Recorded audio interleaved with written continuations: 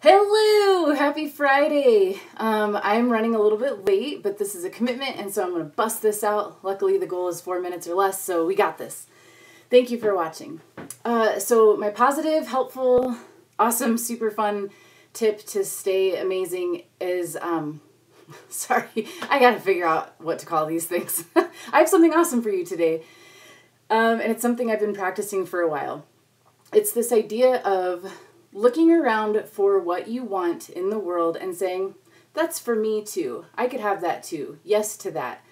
And this comes from the idea that often when we feel like we don't have what we want, whether it's money or a relationship or a car or, or whatever we feel like we're missing, when we look around and we see other people having that thing, it can feel very negative. Like we can feel like, well, why do they get it? Or they probably don't deserve it, or that's not fair. And, and we just kind of use the examples that we see in the world as proof that we can't have it or don't deserve it or something twisted like that. And that's understandable and it's natural.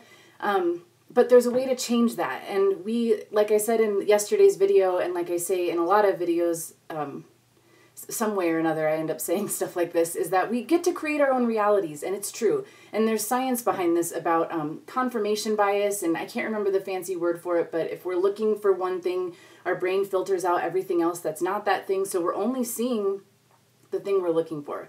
So what I'm talking about here is um, a fun way to change uh, your approach to things so that when you see something, it becomes like an example or proof or validation or evidence that you can have the thing you're looking for, and you're much more likely to find that thing um, when you're feeling positive about it and when you're feeling like, yeah, I deserve that too. That's for me too. And if they have it, I can have it, and I can't wait, and I'm getting ready to be ready. I'm so excited.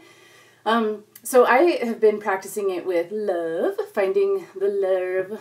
Um, I don't really believe in soulmate necessarily, but I like the idea of the one for now, the better than the last one one.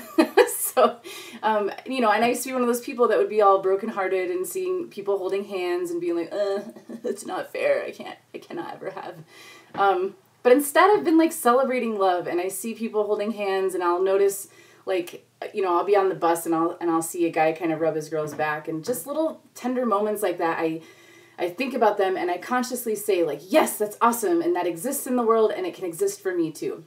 So you can try this with anything that you want more of in your life. Just start looking for the examples and then when you see them, don't shit on them and don't shit on yourself and your ability to have them or why don't I have that yet. Just be like, "Yes, it's out there." And that means if I see it, that means it's coming at me and the more I see it, the closer it's getting and I'm welcoming it in and I can have it.